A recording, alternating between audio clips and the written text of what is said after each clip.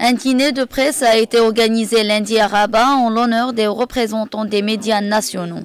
Lors de cette rencontre, le sélectionneur national Hervé Renard a déclaré que l'objectif suprême est de gagner la Cannes 2019, affirmant que le titre continental demeure la seule manière d'entériner tous les bons résultats atteints par le Maroc lors des dernières échéances. Puis maintenant, euh, on vient tout juste euh, tous ensemble de se qualifier pour la, prochaine Coupe d'Afrique des Nations 2019. C'est un nouveau très grand objectif. J'ai la chance personnellement d'avoir disputé déjà euh, les six dernières Coupes d'Afrique des Nations.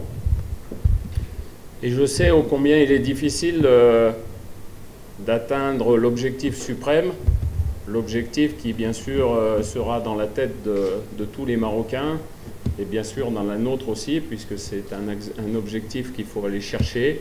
Quand on obtient de bons résultats sur ce continent, il n'y a que le, sacre, le, sacre euh, d'une Coupe d'Afrique qui peut euh, entériner tous ces bons résultats.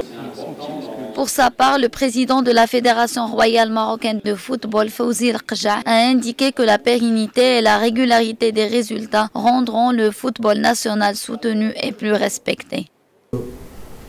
L'exploit ne pourrait jamais être conjoncturel et quand il l'est, il est tout de suite conjugué et confondu à un fait accidentel.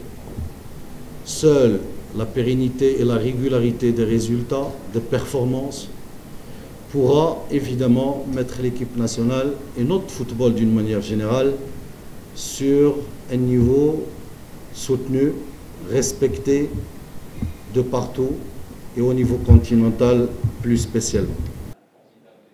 Les deux parties ont appelé à cette occasion tout le monde à servir ce groupe avec de la critique constructive et ce sentiment de partage et d'attachement à tous les membres de l'équipe nationale. Ils ont par ailleurs souligné que les joueurs et les membres du staff sont capables de pouvoir encore une fois montrer la superbe image du football marocain lors de cette canne prévue au Cameroun le Graal des